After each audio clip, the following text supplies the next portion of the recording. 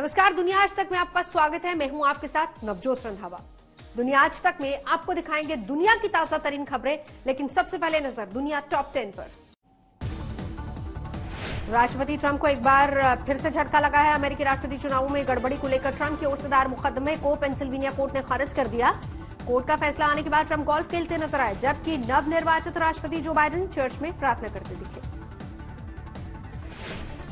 अफ़गानिस्तान से अमेरिकी फौज की वापसी को अफगान सरकार ने जल्दी में लिया गया फैसला बताया। अफगान शादी दूत अब्दुल्ला अब्दुल्ला ने कहा है कि अफ़गानिस्तान में अभी भी जंग जारी और ऐसे में ये बेहद खतरनाक कदम है।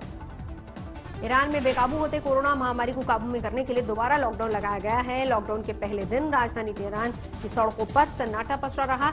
ईरान सरकार ने संक्रमण को रोकने के लिए दो हफ्तों के लिए लॉकडाउन लगाया। लेबनान में जेल तोड़कर भाग रहे पाँच कैदियों की सड़क हादसे में मौत हो गई। स्थानीय मीडिया के मुताबिक कैदी कार में सवार होकर भाग रहे थे, तभी कार पेड़ से जा टकराई। शनिवार को बेरूत के बाबदा जेल से 60 कैदी भागने में सफल रहे। लेबनान में लॉकडाउन के बावजूद सड़कों पर प्रदर्शनकारियों का उत्पात लगातार जारी है। सरकार के खिलाफ वो प्रदर्शन कर रहे हैं। स्वतंत्रता दिवस के मौके पर हुए प्रदर्शन में लोगों ने आर्थिक संकट के लिए सरकार को जिम्मेदार ठहराया और प्रधानमंत्री का इस्तीफा मांगा। थाईलैंड में राजशाही के खिलाफ भारी विरोध प्रदर्शन चल रहा है। कॉलेज के छात्रों के बाद अब स्कूल के छात्र भी इसमें शामिल हो गए हैं और राजशाही का विरोध कर रहे हैं। राजधानी बैंकॉक की सड़कों पर उतरे छात्र राजनीतिक सुधारों की मांग कर रहे हैं। कोलंबिया में कोरोना संकट के बीच हज़ारों छात्र सड़कों पर उतर आए और राष्ट्रपति के खिलाफ प्रदर्शन किया। राजधानी बहोटा में प्रदर्शन कर रहे छात्र शिक्षा क्षेत्र में सुधार की मांग कर रहे हैं। सेंट्रल अमेरिकी देश ग्वाटेमाला में नए बजट के खिलाफ हिंसक विरोध प्रदर्शन हुए। राजधानी ग्वाटेमाला सिटी की सड़कों पर उतरे प्रदर्शनकारियों ने संसद भवन में आग लगा दी। वहीं बेकाबू प्रदर्शनकारियों को काबू में करने के लिए पुलिस ने आँसू गैस के गोले छोड़े। पाकिस्तान के कट्टरपंथी मौलाना खदम हुसैन रिजवी के जनाजे में हज़ारों लोग शामिल हुए। चौवन साल के मौलाना का दो दिन पहले निधन हुआ था। अपनी मौत से पहले फ्रांस के खिलाफ हो रहे भारी विरोध प्रदर्शन का मौलाना नेतृत्व कर रहे थे। रूस के सुदूर पूर्वी इलाकों में भारी बर्फबारी जारी है। व्लादिवोस्तोक शहर सफ़ेद चादर में लिपट गया है। यहाँ घरों से लेकर पेड़ पौधों तक सफ़ेद बर्फ़ जमी हुई है। फ़िलहाल प्रशासन सड़कों पर जमा बर्फ़ को हटाने में जुटा है। अमेरिका में कोरोना महामारी की दूसरी लहर विकराल होती जा रही है और इस देश में रोज़ाना रिकॉर्ड संख्या में लोग संक्रमित हो रहे हैं। महज एक दिन में ही यहाँ करीब दो लाख लोग कोरोना की चपेट में आ गए। संक्रमण रोग विशेषज्ञों का कहना है कि अमेरिका में कोरोना से अभी और बड़ी तबाही हो सकती है।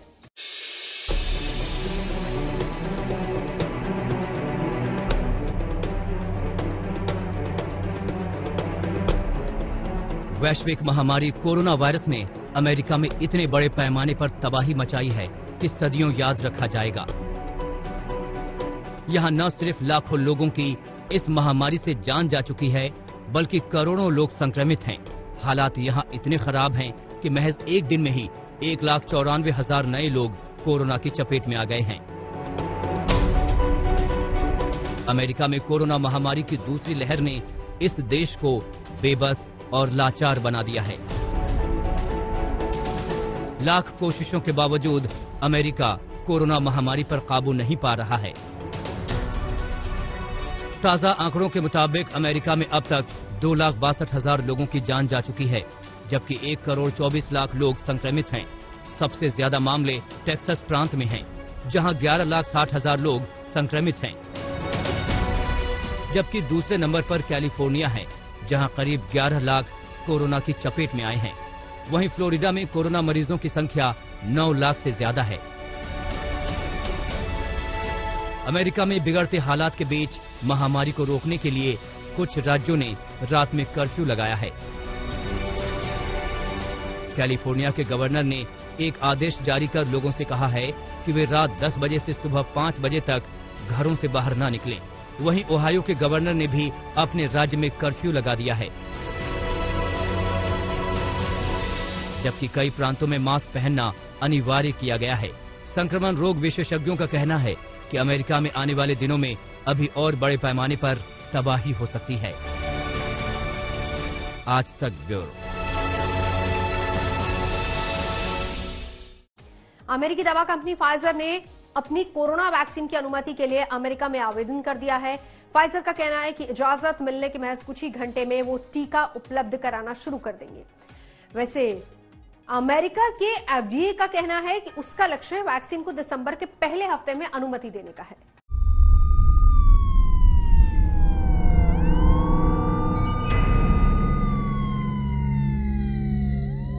वैश्विक महामारी बन चुके कोरोना वायरस से दुनिया भर में बड़े पैमाने पर तबाही जारी है।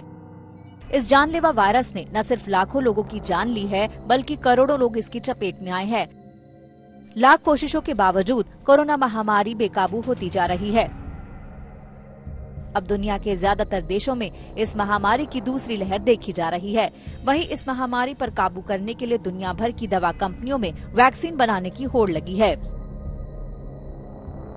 अमेरिकी दवा कंपनी फाइजर और उसकी पार्टनर बायोटेक ने अपनी कोविड 19 वैक्सीन की अनुमति के लिए अमेरिका में आपात आवेदन दिया है। फाइजर का दावा है कि एफडीए से इजाज़त मिलने के महज कुछ ही घंटे में वो टीके उपलब्ध कराना शुरू कर देगी। वहीं अमेरिका के फ़ूड एंड ड्रग एडमिनिस्ट्रेशन का कहना है कि उनका लक्ष्य वैक्सीन को दिसंबर के पहले हफ़्ते में अनुमति देना है। इसका मतलब यह है कि अमेरिका में इस साल के आखिर तक कोरोना का वैक्सीन मिलने लगेगा। फाइजर का ये वैक्सीन कोरोना को रोकने में 90 फ़ीसदी ऐसी ज़्यादा कारगर है। वहीं अमेरिकी कंपनी मॉडर्ना और एक्स्ट्राजेनेका की वैक्सीन भी अंतिम चरण में है। ऐसे में अगले साल तक इस महामारी पर पूरी तरह से काबू पाए जाने की संभावना है। आज तक ब्यूरो। अमेरिका और चीन के बीच चल रहे ट्रेड वॉर के बीच तिब्बत की निर्वाचित सरकार के प्रमुख डॉक्टर लुपसांग सांगे ने व्हाइट हाउस का दौरा किया। अमेरिकी मीडिया के मुताबिक डॉक्टर सांगे ने व्हाइट हाउस में तिब्बत मामलों के नवनियुक्त समन्वयक रॉबर्ट डेस्ट्रो से मुलाकात की। तिब्बत की निर्वासित सरकार के किसी नेता का ये बीते छह दशकों में पहला आधिकारिक अमेरिका दौरा है। वहीं अमेरिका के इस कदम से चीन के साथ पहले से चल रहे तल्ख रिश्तों में और तनाव पैदा हो सकता है। जानकारों के मुताबिक केंद्रीय तिब्बती प्रशासन के लिए ये एक ऐतिहासिक कदम है, क्योंकि इससे सीजीए की प्रजातांत्रिक व्यवस्था और इसके राजनीतिक प्रमुख दोनों को मान्यता मिलती है। इसराइल में प्रधानमंत्री बेंजामिन नेतन्याहू के खिलाफ विरोध प्रदर्शन लगातार जारी है। यरूशलेम में एक बार फिर प्रदर्शनकारियों ने प्रधानमंत्री आवास में घुसने की कोशिश की, जिसके बाद पुलिस और प्रदर्शनकारियों के बीच हिंसक झड़प हुई।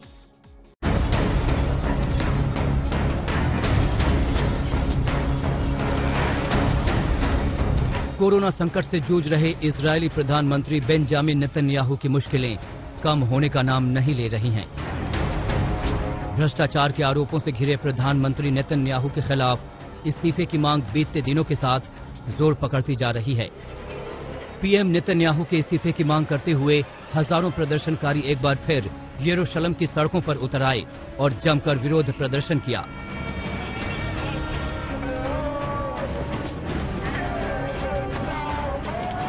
सड़कों पर उतरे प्रदर्शनकारियों ने जहाँ प्रधानमंत्री आवास में घुसने की कोशिश की और पुलिस पर हमला कर दिया तो वहीं बेकाबू प्रदर्शनकारियों को काबू में करने के लिए पुलिस ने बल प्रयोग किया। जिसमें कई लोग जख्मी हो गए। प्रधानमंत्री बेंजामिन नेतन्याहू के खिलाफ खुली जंग का ऐलान कर चुके लोगों का गुस्सा प्रदर्शन के दौरान सातवें आसमान पर था। पाँच महीने से लगातार प्रदर्शन कर रहे ये लोग प्रधानमंत्री के इस्तीफे की सिवाय किसी भी बात पर मानने को तैयार नहीं है। इसराइली प्रधानमंत्री नेतन्याहू, रिश्वत और धोखाधड़ी समेत भ्रष्टाचार के कई गंभीर आरोपों से घिरे हुए हैं और कोर्ट की कार्रवाई का सामना कर रहे हैं। दूसरी ओर, नेतन्याहू सभी आरोपों को सिरे से खारिज करते रहे हैं और सारी कवायद को राजनीतिक पैंतरेबाजी करार दे चुके हैं। आरोप प्रत्यारोप और वार पलटवार के ऐसे दौर में इसराइल की राजनीति फ़िलहाल दो राही पर खड़ी नज़र आ रही है। आज तक अफ़गानिस्तान सरकार और तालिबान में चल रही शांति वार्ता के बीच एक बार फिर से राजधानी काबुल को दहशत गर्दों ने निशाना बनाया। शनिवार सुबह काबुल के अलग अलग इलाकों में एक के बाद एक कई रॉकेट दागे गए, जिसमें कई लोगों की मौत हो गई और दर्जन भर से ज़्यादा लोग घायल हो गए।